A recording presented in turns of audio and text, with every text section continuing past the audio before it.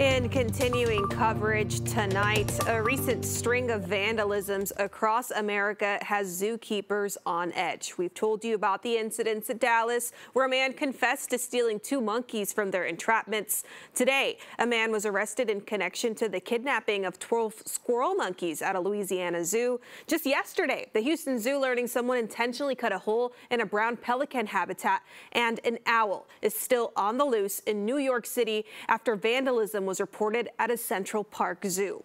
These incidents have zoos in East Texas taking extra precautions to keep their animal friends safe. Our Jesus Martinez spoke to an official at the Caldwell Zoo in Tyler who shares their strategy to avoid vandals from messing with their enclosures. Packed full of experience and incredible staff. Incredible staff and incredible animals.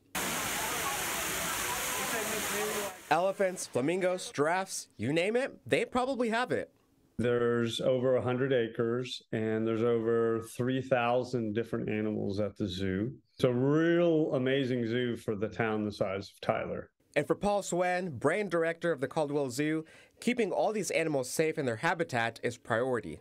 If these animals get out, they're not going to get the nutrition they need. They're not going to get the temperatures they need. They might not get the humidity they need. The Caldwell Zoo is accredited by the Association of Zoos and Aquariums, meaning it's proven to the association that they're doing everything they can to keep the animals healthy and safe, including having 24 7 surveillance on ground. It is about the comfort and the nutrition and the health and the well being of the animals is always first. Which is why they aren't dealing with any monkey business after two monkeys were stolen at the Dallas Zoo last month. And most recently, a four inch hole was found in the mesh surrounding the brown pelican habitat at the Houston Zoo may even be exotic pet trade. Um, there's a black market for many animals, and they're sold um, for profit, which is disgusting. In its 50 years of being open, the Caldwell Zoo has only had one incident of stolen animals.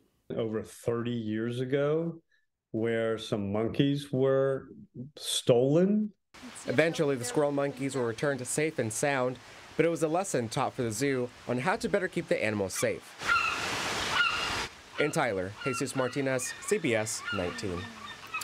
The Caldwell Zoo says every animal has a custom-built habitat to keep them safe depending on their size and habits, which is why they're redoing their South American habitat to better fit the needs of those animals.